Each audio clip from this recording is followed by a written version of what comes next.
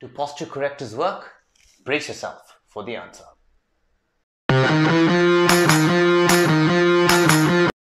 Hey friends, Avi Physio here. A question I get asked really often in practice is, do posture braces or posture correctors really help to improve posture? Guys, if this is the first time you're watching one of my videos, please hit subscribe for more content that helps you to be the best physical version of you.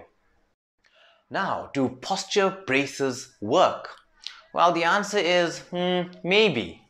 Would I recommend them? That answer is no. What I would recommend is an exercise that I'm going to show you at the end of the video.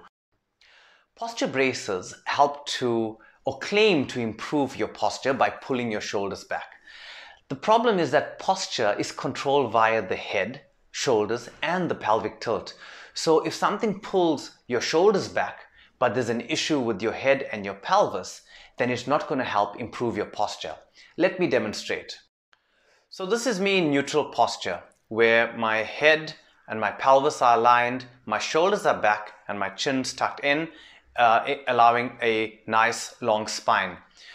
Now, if you have a posture corrector that pulls the shoulders back, but the neck muscles in the front are quite shortened, you could possibly have your shoulders back and still be there.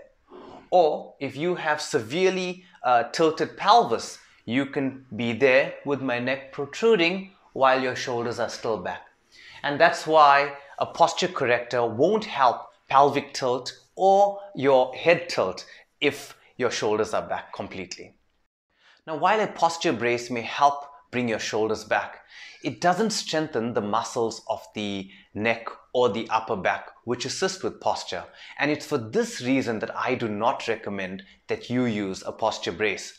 Over a period of time, by using a passive structure such as a brace, you're actually going to weaken the active structures, which is the muscular system designed to help you with good posture.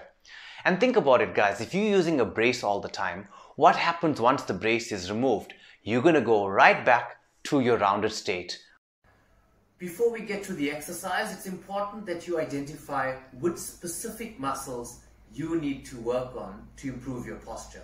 And for this, your physio or physical therapist can guide you further. Now for the exercise, you want to lie on a bed or on the floor. I prefer having a pillow under my tummy as it makes it more comfortable for my lower back. You want to have your chin tucked in, the glutes engaged, the legs on the on the floor and have your hands pulling down. So your elbows are pulling towards your middle back and you're pulling the shoulders down. If this is challenging or too challenging, then you can start off by having your hands on the bed, which makes it a lot easier. I hope you found this video useful. Please share it if you know someone who wanted to get a posture brace and didn't have this information. In the meantime, guys, stay safe and stay strong.